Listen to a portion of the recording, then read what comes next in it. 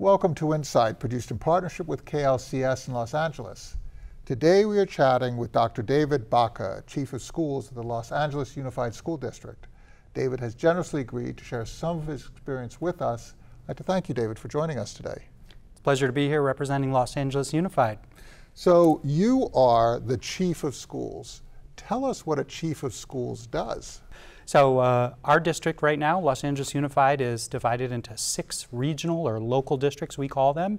And my job as chief of schools is to, is to support our local districts. We have six local district superintendents. So my job is to convene them together, um, analyze uh, their individual and our collective plans for improving our district and to monitor progress and support them with corresponding actions. Today, we're in that place of analyzing data, looking at um, looking at last year, looking to this year, um, really carefully thinking about um, where we're at and where we might go.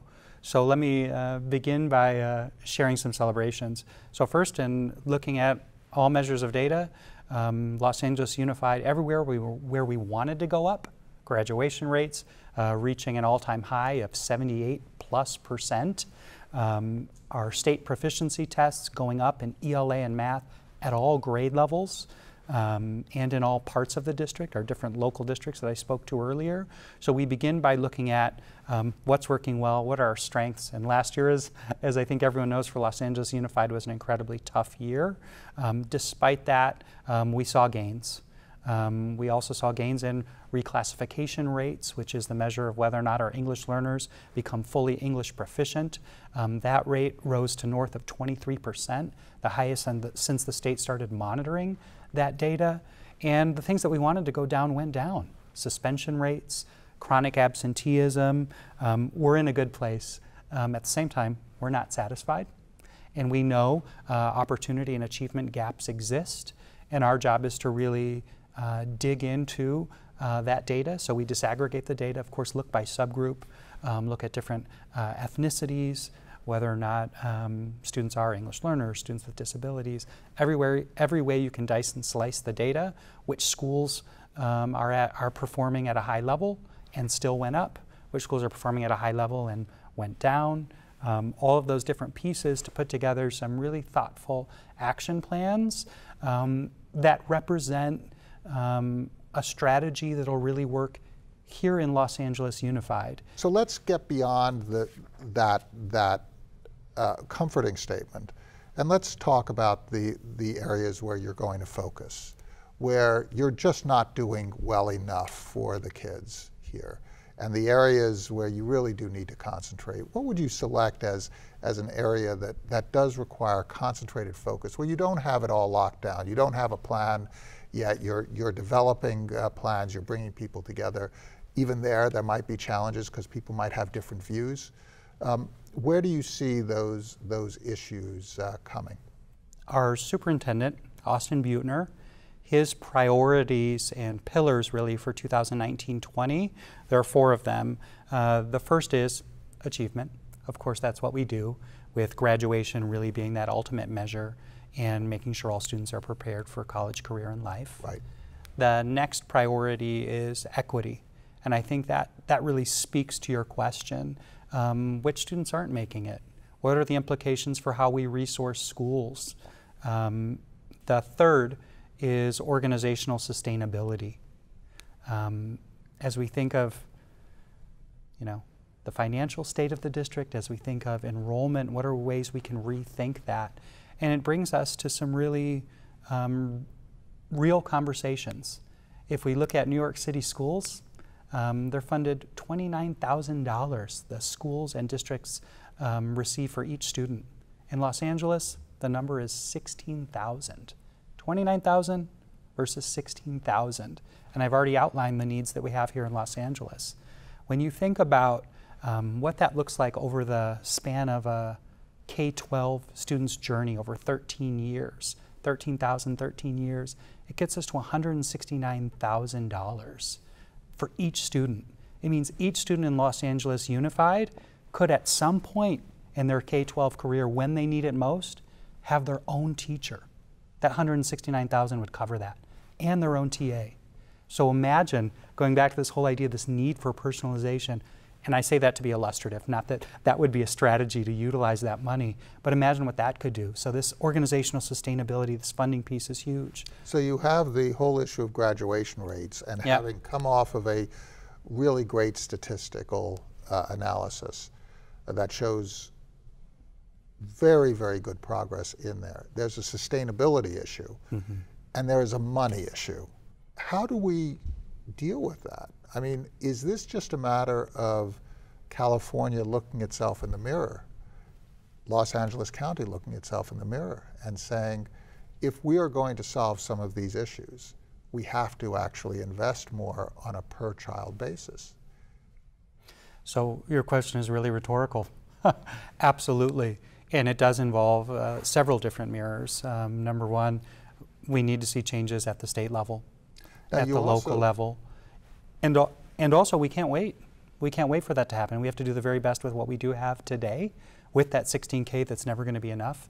It's always going to be challenging given that, but that's really um, our job as a school district to do the very best with what we have. So that's an important point. You don't use the deficiency of funds as an excuse to stymie action. You can't. to throw up, because you can't, because that child, the next day the sun comes up, they have to be Yeah. able to go to school. And you have to do the best you possibly can. And it's, So- it's every single educator in our system has to do the best he or she can. Right. It's our teachers, it's our principals, it's you know our bus drivers, our uh, custodians. Um, more funding is needed in several different areas, and yet um, people show up every single day, go above and beyond the call of duty, and our our data is moving in the right direction. Again, across every single metric. So we are doing more with less, and we see that but it is not enough. And our students deserve more.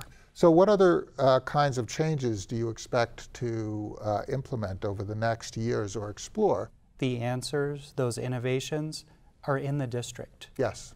We believe that our teachers, that our principals, that our leaders have the answers. And we need to invest them and beyond, right? The, the old adage, it takes a village. Our community partners, we need, need to invest people in Los Angeles Unified. We believe that. But we believe that um, that talent is inside the district. And this is predicated, this approach is predicated upon that as well. You're also taking a different approach than the study first, write a report, discuss it interminably, plan, replan, think about it, replan again, and then do. You're changing that. You're basically, instead of doing the, the study then do, you're doing the uh, study and do, do and study. Um, neither comes first. It's a chicken and egg kind of thing. You're, you're, you're going right in there. Um, there is some planning that, that takes place, but you are going to create a feedback loop in the process of implementation. And the feedback loop, of course, starts even with any planning um, in Los Angeles Unified. That's absolutely part of it. So, in talking to our neighborhoods, our communities, in, in some cases, as you mentioned, all the different cities and municipalities that we serve, in some cases, talking to um, some of these individual neighborhoods, they're telling us this is what we've wanted all along. We wanted something that felt like it was connected to the neighborhood. We wanted something where our local schools were grouped together. Um, so we're seeing incredibly promising feedback, really on the the planning and the organizing principles of keeping our schools geographically bound, Right. connected to the community, and partnering with everybody there. If you go to small town America um, and it's Friday night, you may be going to a football game. And going to that football game means not only that you're invested in that high school, you may have gone to the, that high school, mind you, 30 years ago and still be going to the football game, but you're invested in the school district. And here in Los Angeles, again, um, we're seeing at least some signs, for some of the reasons you mentioned, um, of disconnection. So, how do we get folks connected? Um, our neighborhood councils, we have robust neighborhood councils in Los Angeles. How do we make sure each of those are connected to our schools? Um, so, this idea of connection comes up again and again. Talk about the philosophy that the LAUSD has in terms of working together with other partners that can provide other types of services uh, throughout the school district. It, it, it does require a, a, certain management, and you do have certain standards. How does that unfold, and, and what is the thinking uh, in the management ranks in terms of partner, partnering with such organizations? Firstly, something our superintendent is absolutely committed to is increasing those partnership opportunities. So recently we created a new partnerships and grants office um, at our central office to help streamline some of our processes and make it easier for outside agencies to partner with our school district to provide needed services. Um, as we discussed before, the need for all different kinds of wraparound services, enrichment activities to our students. The need is certainly there, so that's something we're working to to engage more partners to be able to partner with us. So the superintendent is creating a, an office to make LAUSD easier to do business with. Exactly. How does uh, LA, the LA Unified School District, uh, cultivate talent within its ranks and afford uh, opportunity to teachers, to administrators, um, to, to evolve their careers and, and uh, also refresh and repot periodically? Yeah, so we see capacity building as critical um, for folks to continually develop their own skill set, but also to be able to resta- respond to changing needs. Our teachers, the, the needs of the students they have in front of them changes, and they need to be up to date with the uh, best ways to respond.